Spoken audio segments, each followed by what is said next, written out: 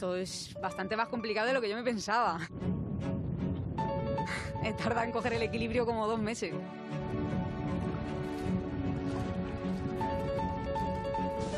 Eh, empecé en una de estas de las que se alquilan y ahí muy bien. En cuanto cambié a esta, me caía por lo menos cuatro veces al día al agua. Una, una menor base, una mala palada, nos puede ocasionar una caída.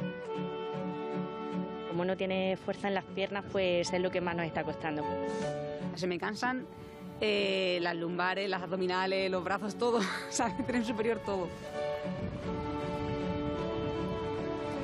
Ir a una paralimpiada es un, es un sueño. Me propusieron hacer algún deporte que, que fuese paralímpico, ya que el karate no lo es. Y quise probar la piragua. Andamos detrás de ella pues como dos añitos, pero nunca nos habíamos lanzado a, preguntárselo, ¿no? Y coincidió que, ella nos, nos llamó y dijimos, mira qué bien. Con el karate sigo y ahora lo estoy combinando con, con la piragua.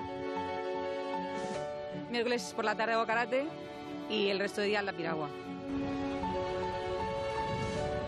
Que por la mañana también hago entrenamientos de, de pesas.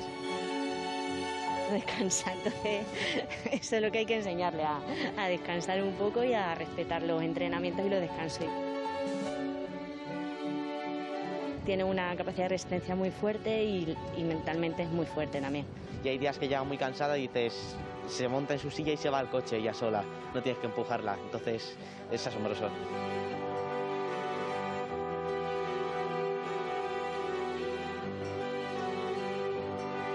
Es una deportista nata.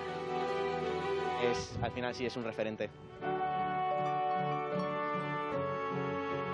Me, me marco como meta poder entrar en el ranking para conseguir ir a las Paralimpiadas 2024. Mentalidad fuerte hay y, y lo conseguiremos. Lo veo lejos todavía, pero no imposible.